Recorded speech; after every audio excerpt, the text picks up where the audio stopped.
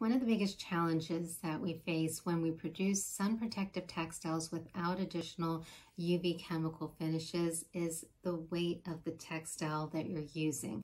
Now, it is true that if you coat a textile with chemical finishes, then you can take lighter weight textiles and actually provide them with sun protective qualities that may not have inherently been there. That is a challenge that seems a bit obvious, especially when you think about textiles that are more traditionally used in summer clothing, say lighter weight cotton types of items, linen, chiffon, some of those really lightweight textiles that may not have that same ability based on the weave of the textile to really give you good coverage from the sun.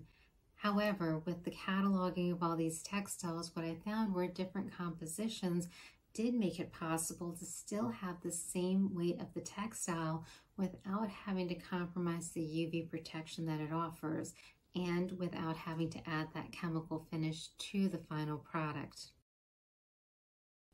So we're going to go through this process so that you can see based on just getting, say, a white t-shirt, standard white t-shirt you get from any store, what that could actually mean for your clothing. So if we take our Dynoscope and actually magnify in, you can actually see what this textile looks like underneath the magnification.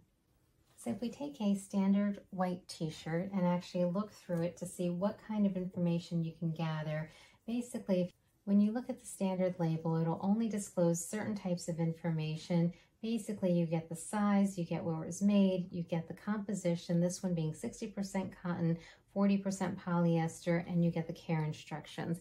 That's about as much information as this type of product will offer. If you take a look at this scan, you can see what this test actually records.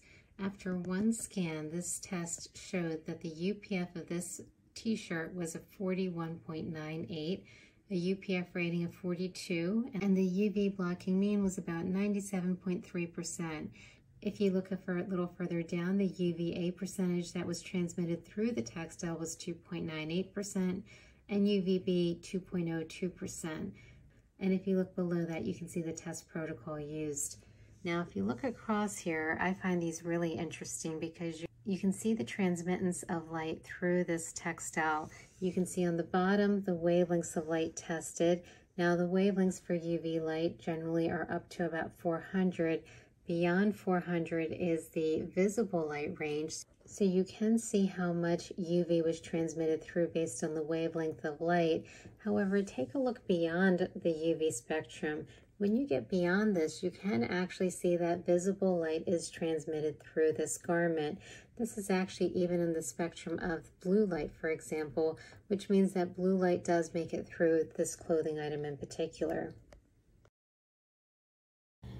So no, you can't just hold your clothing up to the light to see if it blocks UV. UV is invisible. You can't see that. Visible light will still shine through, and this is not a good marker for whether or not your clothing is blocking against UV light.